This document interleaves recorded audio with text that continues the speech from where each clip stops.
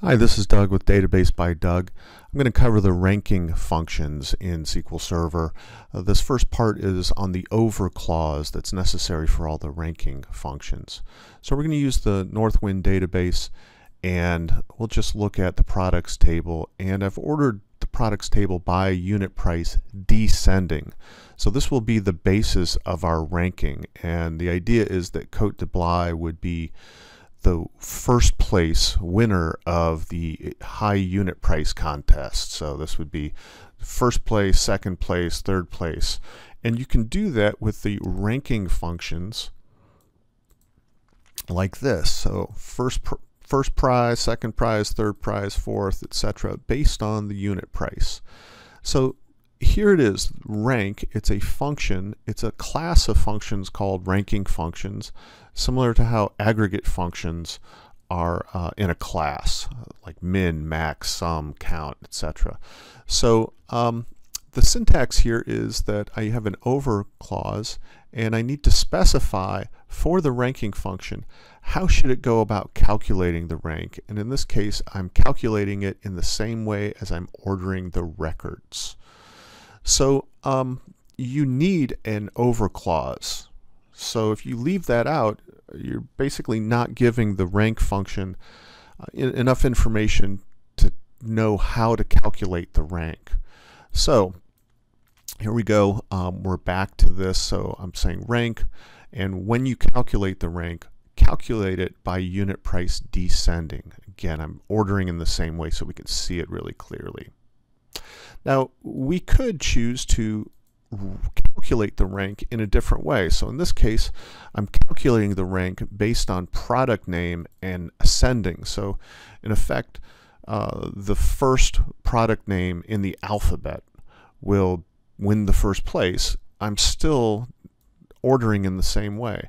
So if I scroll down, there it is, Alice Mutton, based on the uh, letters in the name uh, is in first place alphabetically.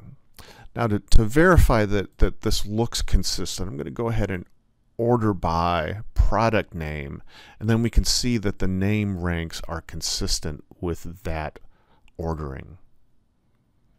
Now this makes a good point though is that what I put in the order by clause and what I put in the order uh, I'm sorry in the over clause as the order by and what I put in the select order by can be different and in many cases they might be different. So um, so for example I might want to show the products in order by product name but then be able to look up what their price rank is. So there's Cote de Blaye in the 12th place because of uh, it starts with C and but its price rank based on how high the price is is first so now let's consider this piece here where I've got the same, this is kind of what we started with in the beginning, but now I'm showing the uh, category ID also.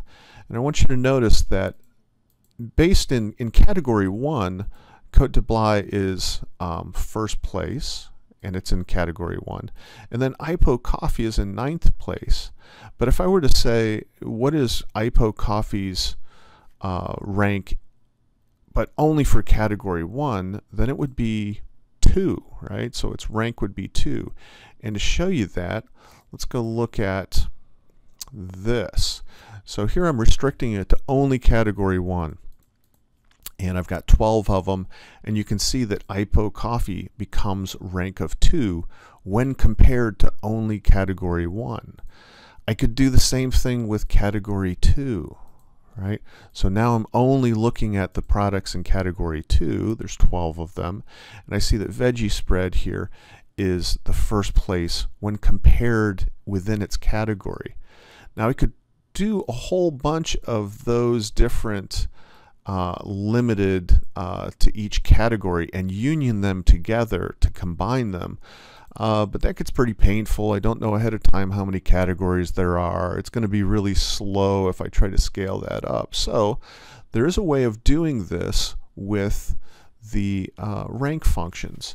And there it is. There's the code. And I'm going to format it slightly differently so you can see just the difference. The only difference between that rank, like this column, and this next column is this partition by. The partition by says uh, only compare, when you're calculating the rank, compare each product's unit price to other products in the same category. So you can think of this similar to how group by works and that you might think uh, that logically what the database is doing is it's actually putting everything in different category groups and then ranking within those groups. So um, as you can see here in the data that there's category 1, uh, unit price 1, right? So I can see that each one of these is first in its category and then we start to see second in its category. So, um, so let's do this again, but uh, rank it uh, in different ways. So in this case, I'm, I'm calculating a rank within category. Then I'm calculating a rank within supplier. And then I've got the overall price rank. And I'm going to just change uh, just the order by so we can verify that each one of these is doing what we expect. So the overall price rank here is consistent with the unit price here. And we can see that I'm ordering by the unit price descending and it's consistent with the overall price rank. Now I'm going to swap out that order by with an order by category, then by unit price descending. And what I see is here are two null categories and the price rank is 1, 2. And then when I shift categories, I start ranking over again from 1. And again, uh, let me swap out this order by. Now I'm going to order by the supplier, then the price descending. And again, look at this price rank by supplier. Here are three with a null supplier ID ranked 1, 2, and 3. Three uh, in supplier ID 1, 1, 2, and 3. So one final example just to show that uh, these partitions and the rank clause could be more complex is here what I'm doing is ranking everything in terms of dollar value in inventory. So uh, here are my two that are null categories. But notice these the second set here of um, that are ranked within the, their category and ranked in terms of the dollar value in inventory. So my order by here can be an expression and um, I can also add more uh, fields to the order by. So for instance, if I wanted to make sure that um, this was a unique ordering, I might actually order by product ID ascending so that I'm ensured that I have a unique ordering in cases where the unit price times the unit stock was the same uh, for multiple products.